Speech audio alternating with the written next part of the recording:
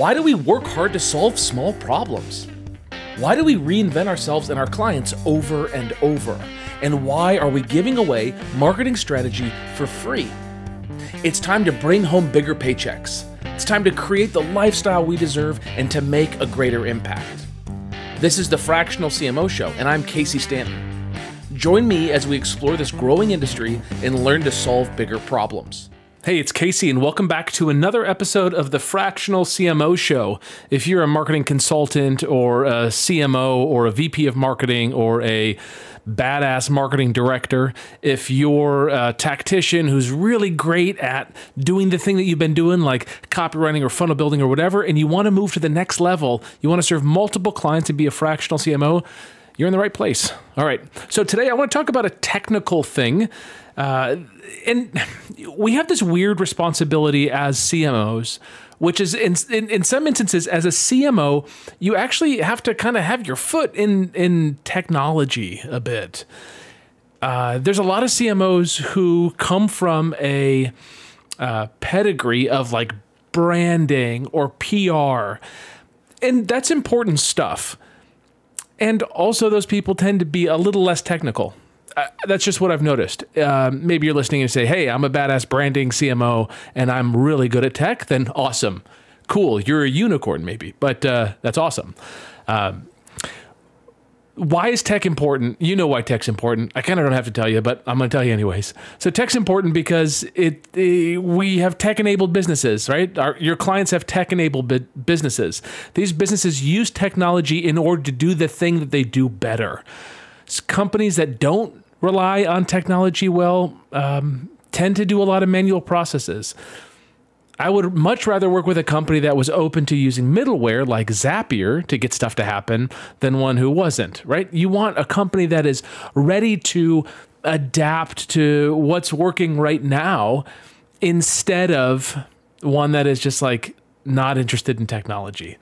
Um, one of the most painful things you might come across as a CMO is working with a company that doesn't have a CRM. Now, if you've ever worked with a company that doesn't have a CRM, it's kind of like, wait, what am I supposed to do? How would I know if I did it? Uh, a CRM is re- required, right? A CRM, uh, customer relationship management tool. It's the thing that says Bob Jones is a customer of ours. He originated, you know, a lead came in at this point ultimately Bob bought these products, has a lifetime value of this. Um, you know, that's kind of like a minimum of, of what a CRM has on it. You know, then there's those companies that like use MailChimp as their CRM, which like, ugh, that's a little cringy, right? Like you can kind of get some decent information out of MailChimp if you query it and you have tags used correctly, but most people overuse lists and underuse tags and it's a whole mess. So you you want to work with a company that has a good CRM. But there's this other thing that you want in technology. Yeah, you want like a central communication channel for everyone to communicate on so that like conversations don't just happen on text messaging and on uh, Signal and on Slack and on Skype and on Microsoft Teams. Uh, I, have worked with a company that was on like four different communication platforms, and then they had one team that only was on uh, text messaging. It was awful, right? Really tough to centralize that communication. Yeah, you want that tech wise, right? There's other tech things that you're going to want. You're going to want to keep your eyes on things like the website and making sure that there's a backup strategy, and you kind of run through some doomsday scenarios of what happens if the website goes down, how do you get it back online, all that kind of stuff. Yes, that tech stuff, yeah, that's important too. But in this episode, I want to talk about data warehousing. Data warehousing. Data warehousing is, um, uh, I mean, maybe like two years ago, it was like the buzziest of buzzwords. You know, maybe for like the last, I don't know, five years. Right now, I would say it's like AI, right? Chat GPT. That's what everyone's talking about. But let's just like talk about the validity, value, um, importance of data warehousing. What is data warehousing? Simply put, here's how I envision it it's just one big old bathtub full of all the data. That's it. All the data that matters. So, what data could matter um, to your client? Um, uh, leads, including like lead origination with a timestamp. Like this lead came from Facebook on Tuesday, February 2nd, 2021. Like that stuff's important. The contact record, right? with an email address, maybe other contact information like phone number, mailing address, any purchases that they've made, any sales calls that they've had. If it's a B2B or a B, B to like high ticket C where there's opportunities in a, in a sales stage, meaning you're going to go work with Bob Jones, um, you get on a call with him and you have an opportunity to sell him a, you know, let's say you work with a client that does um, outdoor pools and driveways. Okay, two kind of different businesses, but just for the sake of this, just stay with me. Bob Jones could come to this business, uh, you know, Pools and Driveways Incorporated, and there might be an opportunity created where he says, "Hey, I'm thinking about getting a pool," and then you know someone goes out and surveys it and says, "Oh, here's a twenty thousand dollar, fifty thousand dollar pool for you." There's an opportunity created for that, and then that opportunity runs through its stages of um, needs analysis and qualification and proposal and approval and um, acceptance and waiting on payment and then payment made and then the project completed, right? that that there's an opportunity for Bob Jones. There's also a secondary opportunity for Bob Jones, which is to get his driveway graded and paved. Right, that's another opportunity, and that opportunity is only a ten thousand dollar opportunity, and that might go all the way to a proposal stage, and he might abandon it. Two separate things happening with Bob Jones, but you want all of that data again in this bathtub that you can query. Okay. Um, the calls that Bob Jones has had, the emails that he's received, the emails that he's opened and clicked on. Think about all that data. You could have wanted all in one place that you can query. So, what does it look like if you can't query that data? What it looks like is the salesperson is working on their cell phone and talking to Bob Jones and just calling him one day and then writing on a sticky note on his desk and say, I'll call you back on Tuesday. And then on Tuesday, he grabs that sticky note and calls Bob Jones. And all this is happening on that salesperson's personal cell phone. There's no record that the company owns that the salesperson is talking to Bob Jones. Uh, then there might be um, a sales process, and the sales process might have a lot of manual components. Maybe they literally go to his place and they measure stuff, and they have a whole um, project estimating tool for how much it's going to cost to build a pool. And that project estimating tool might be the industry standard estimating tool, but it exists in a silo. It's like on a laptop that the person takes out to Bob Jones' house and they measure everything and they kind of keep it on the laptop and then they write a proposal, and that proposal is in DocuSign. And all of these tools might be industry leading, high quality, great tools. They might actually make for a great customer experience. But for you, the CMO, if you don't have access to all that data and you can't query it, you can't pull any trends out of it. You can't figure out what's actually happening. You don't have an understanding of maybe the stages that people are in or the gestation from lead origination to purchase. Gestation is one of those metrics that is just like must be focused on for the CMO. Gestation, you could say gestation at different levels, but like it's the gestation of lead to sale, let's say. Um, there might also be the gestation of like um, needs analysis to sale, right? Like different different points might have different gestations that you want to consider, but like generally speaking, that's a KPI that you should be tracking. Um, the data warehouse is this idea that all that data dumps there. So you're dumping it in somehow. Maybe there's API integrations, which is an application interface, which is above my pay grade. Um, and I don't really know uh, how to work with an API, but um, you know, you can go on Upwork and find great developers that know how to use APIs and just pull them in. Uh, but you want to take all of these different tools and dump them into that bathtub with all the data and then be able to query it with reports. There's different ways to do it. There's different um, technologies for this. There's some off the shelf solutions, there's some custom built solutions. It may make sense to do it custom for your client, it may make sense to do an off the shelf solution. Something like a Tableau. Uh, could be really useful if um, you can get the data into Tableau in a neat way. Um, you could even say that like Google Data Studio or what is it, Microsoft uh, BI, uh, Power BI, those tools are kind of off the shelf, easy to pipe in some basic connections like Facebook ads, website visitors, purchases, events like that, and be able to pull some reports on the the complete uh, customer journey. those tools might also have some limitations. They might not be great for you. Um, if you're curious about and you've never used like Google Data Studio before, just go on Google and type in Google Data Studio template Facebook ads and just see what shows up. And what's going to show up is probably a pretty cool template that you just make a copy of and then you pipe in a Facebook ad campaign and it starts reporting on all the information for you every time you refresh it. So that could be useful, but again, the more steps along the sales, uh, the marketing like the lead origination all the way through customer and lifetime value process, the more steps you have, the more complex it is going to be to get all of that technology to dump all of their data points into that bathtub you to query out of. And that's the data warehouse. I don't want to prescribe to you a data warehouse solution because every business is completely custom and unique. Like everything's going to be different. I mean, two side by side businesses might um, you might think could use the same data warehousing software, and maybe they can, and maybe they can't. And Maybe the difference is um, how they run proposals, or maybe it's um, uh, uh, how they take payment, or the CRM that they use, or the ERP that they use, or whatever. So you, as a CMO, need to kind of hold this mental model of a data warehouse. And it's not enough to just have the kind of quick and dirty of MailChimp and just do the best you can. I mean, maybe it makes sense for the first few months that you work with the client, but over time, you want to build a proper data warehouse. Um, if you look at ad tracking tools, there's two that come to mind, uh, three. So you've got Hyros, H Y R O S.com. You've got Wicked Reports, and then you've got, I think it's Third Whale.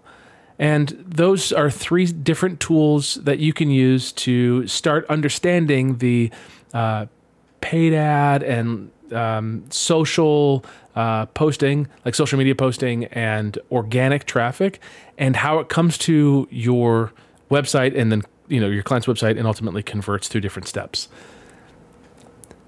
Those three tools are interesting and might be a good thing to try on, right? Um, but the bigger the business is, the more a custom solution may be needed. And it's your responsibility not to know how to do it, but to know that you want it, to know that it's valuable, and to prioritize when it should be executed, when it should be built. And also, like, you should appreciate the cost of it, um, what you think the results are going to be with using it, and the timeline it's going to take to produce it in my experience, there's a lot of modeling that happens, and the models aren't good when they get started. There's like some basic models, which is like, what is the average gestation from lead origination to sale based on this traffic source? And that's a pretty kind of binary linear report that you can generate out of the box, no big deal. You know, you get enough data in there, you let it age for a month or two or three, you can start pulling reports like that, and those are useful. But if you want to pull deeper, more kind of strategic reports like what would happen if we skip this sales call in the sales process? We know how much we pay right now for the sales team. Um, what if we remove this call? You know, would we actually experience a higher profit in the business? Uh, and is that that an acceptable thing for us to do? And you know, those kind of questions. So data warehousing again is is a tool in your tool belt, and it's a big one. Um, I would say like developing a data warehouse is right up there with you know getting a new website launched for your client. Uh, from the outside, it's kind of simple, uh, but once you get into it, I think it can be very hairy and very complex. And you should just have an appreciation of the value that a data warehouse can provide, of the value of the metrics, and um, if it's worth doing or not. Now, I can think back of working with a client years ago, back when I worked at an agency, and we had built out a significant data warehouse with Salesforce.com. It was awesome. They had the best of the best tech. I mean, I could cut my teeth uh, with those guys that I worked with that were just really great um, Salesforce developers, Salesforce administrators, um, and like data modeling folks. It was awesome. We created really cool reports. And then this this company that I'm thinking of, uh, they went through an acquisition, and the company that bought them said, "Whoa, we're spending way too much on all of this slicing and dicing of data, and we don't need it anymore." And they just killed the whole Salesforce org and moved over to a really simple CRM. So they went from having you know, like laser uh, x ray eyes to effectively being blind on the data. And I remember seeing that company over the course of the next two years effectively fail. That was it. They like enjoyed the cash grab of reducing the um, technology spend. you know, the technology spend was something like 2% of revenue, which we thought was great for them and a really acceptable cost. And to the, you know, to the new buyers, they thought it was, it was crazy high. So we helped build a laboratory that provided insights to what ads actually worked and drove the customer and what messaging worked and lifetime value and propensity to buy and you know ease of sale and all that kind of stuff. We could model all of that stuff out, but it had a cost. And the question that you you know have to kind of weigh with this, the whole soft question on this all is like is your client going to go for a data warehouse? Maybe they will, maybe they won't. Will a data warehouse make your life easier? Absolutely. I think it's a it's a killer move um, if you can get it deployed and you know not um, have too much of a headache with the developers that are putting it together. With with all these types of tech things, I would say that like 50, 60, 70% of the work is figuring out the logic of what you need. The development and deployment of the thing is not really hard. If you've ever worked on building a website, you know that like you know, hiring an agency to build a website, the website building isn't tough.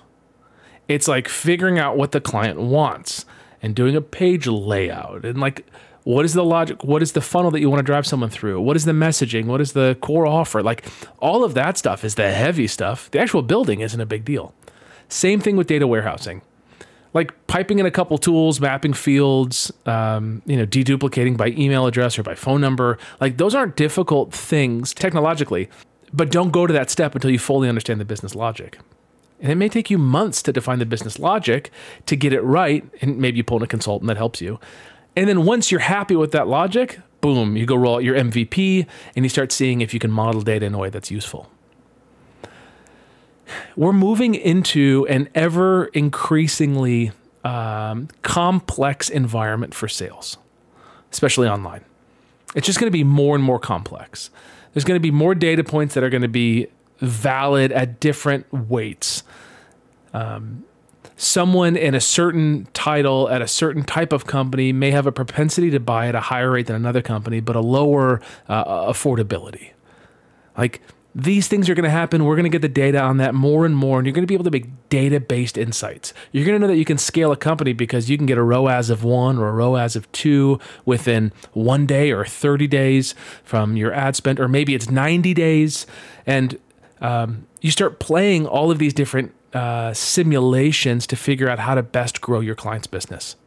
It's a fun it's a fun place to get to. Um, most businesses don't get there.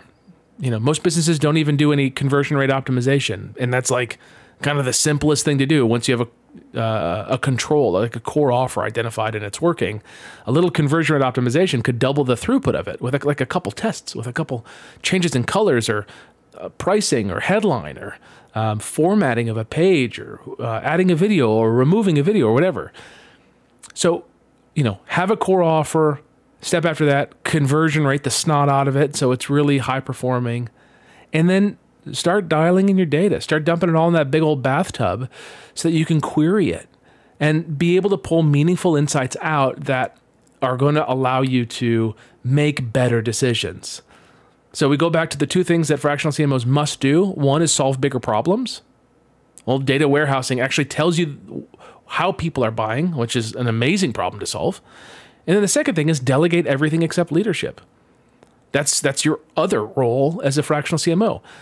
So how do you delegate this? Well, you say we need a data warehouse. I want to hire someone who's going to come in, consult with us, meet with me a couple times, meet with the rest of the team, meet with the staff, whatever, meet with the sales team, and they're going to understand our full business process. They're going to lay out the logic. Once we agree to that on paper in a flow chart, they're going to then build this thing out, and then they're going to produce these certain reports for me that I think are going to produce this value.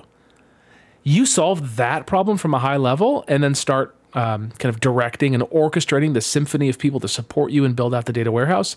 You're going to find yourself in a position of power and authority because you're driving considerable change for your client. It's a beautiful place for you to be, and I'm excited that you're considering doing it. If you want help getting clients as a fractional CMO, if you want to build a practice where you're in complete control, you are the one who owns your pipeline. You're not subservient to anyone who gives you leads. If you want to be kind of a sovereign leader as a fractional CMO and work a lot if you want, or not a lot if you want, um, and charge 3000 10000 15000 whatever, a month per client and have six month, 12 month, or longer relationships with your clients, I mean, being a fractional CMO is like the way to do it. It's it's killer. I can't think of any other role in marketing that gives you this freedom, this leverage, this income. It's just a beautiful thing. If you want my help, I'd love to help you. That's the CMOX uh, fractional CMO accelerator. We call it the CMOX um, accelerator. It's, a, it's, it's our accelerator. We help people become fractional CMOs. If you want to book a call with my team, you can. CMOX.co slash call. Super easy. Punch in your first name, last name, answer a couple questions. Give me your email address, your phone number, so we can follow up with you. And then you can book a call with my team. It's pretty simple. Um, we'll see if we can help you. We'll let you know very honestly if we think that you're in a good position or not. Um, you know, it, it, it's it's kind of obvious. Like people who have a lot of experience in marketing, um, oftentimes like can go out and win clients pretty quickly. Yes, that's true. And also, there are the people who are committed to figuring this out you know, I don't want to be a gatekeeper and say you have to have 10 years of, you know, senior um, C level or, or, director level marketing experience because you kind of don't have to, honestly. Okay. And maybe this is going to ruffle some feathers. Um, I actually got an email uh, from a guy recently who was mad at me because I said that uh, a copywriter could be a CMO. Well, you got to start somewhere. And if you start somewhere, like let's say you are a copywriter and you're writing copy and you follow the greats, you follow the the Garys, right? The Halbert, the Bencivenga, um, you love copywriting and that's like your bread and butter and you've been writing copy. Odds are you probably understand funnels really well. You understand, understand the customer's experience well. You understand how to create an offer that is compelling that gets people to buy. And you know that that offer needs traffic. So you've done a lot of the CMO level stuff, which is like figuring out what has to get done to reach a certain outcome, including like how do you get traffic, who are the people needed, etc. There's stuff that you probably you know maybe don't know uh, that you need to get rounded out on, um, but you can move to an authoritative position as a fractional CMO. Absolutely. Then there's the people who are long-term CMOs who are leaving their um, their gigs. They're just like retiring or leaving or quitting or whatever, getting laid off. That's kind of the climate, you know, that we're in right now. Um, and those people want to be fractional CMOs, and they're like, I'm a damn good CMO. But they might also have gaps. Like they might not really understand copy. If we just stay on the copy idea, they may not understand how to create a great, compelling offer. You know, they may not have Hormozi's book on $100 million offers. They may have never heard of Alex Hormozi, right? Like that that's that's likely too. Um, sure, those those those tenured CMOs have an upper hand in understanding how to work maybe with the C-suite, but they might have some weaknesses when it comes to the actual tactics and understanding what the right tactic to use is. I've seen many CMOs who solve problems just by hiring agencies, which is an okay way to do things, but I'm a believer that you want to build your clients' teams up by like hiring full-time employees and getting them to do the work. That de-risks um, you know, I mean, it, it doesn't really de-risk. It just like reduces the cost for your client over time, so that you can be more capitalized to drive ads and you know traffic that way and that kind of stuff.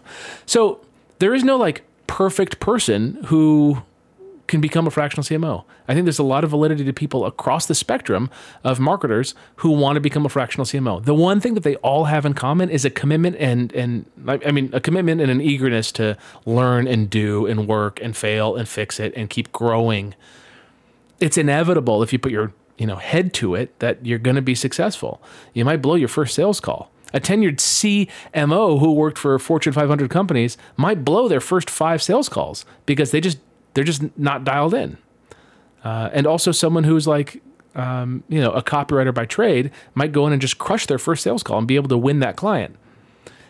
Regardless, the our accelerator uh, it helps you attract, convert, and serve clients. Those are the three things: attract them, like bring in high quality people; convert them, like how to how to sell them confidently, and then how to serve them. What do you do in the first 30 days, the first 90 days? What do you do every quarter, every year? Right? How do you serve them in a way that gets them the best outcomes possible?